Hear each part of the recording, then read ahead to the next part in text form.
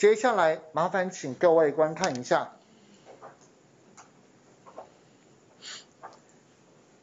下载下来喽，会下载吗？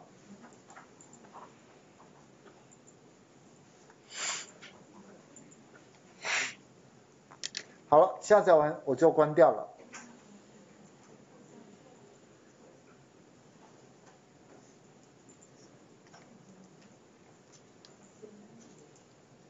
好，请问一下哦，在这个档案里面，在这个档案里面，我们可不可以重复下载十四日再住院率这张资料表？可以，可不可以再下载第三次、第四次？可以，但是如果你真的要用它，干脆直接在常用里面。转换资料，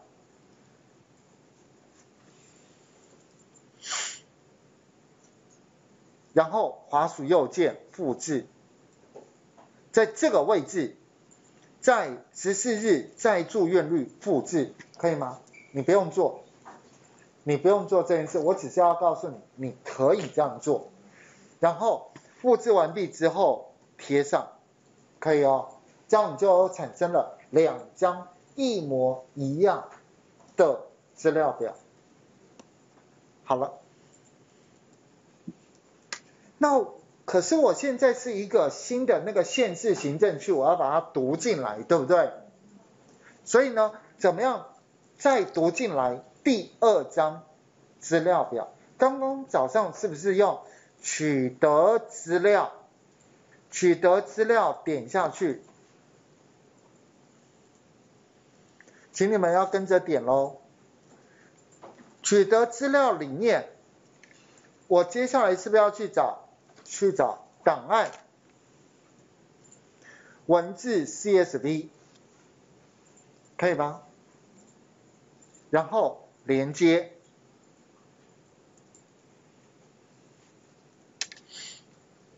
各位，我刚刚是不是请你们下载下来？所以就请你们点这个下载里面去找这个县市行政区，可以吗？其实就跟早上我们做那个取得十四日再住院率的方式是一模一样的。然后点选县市行政区，然后开启。那你要看一下它是不是乱码，如果它不是乱码。我们就直接点载入，好，请点载入，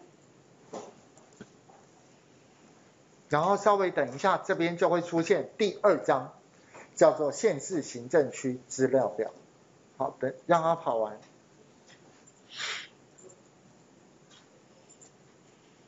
这张县市行县市资料表是我之前我已经就是在那个。我用爬虫的方式把最新的资料把它抓下来。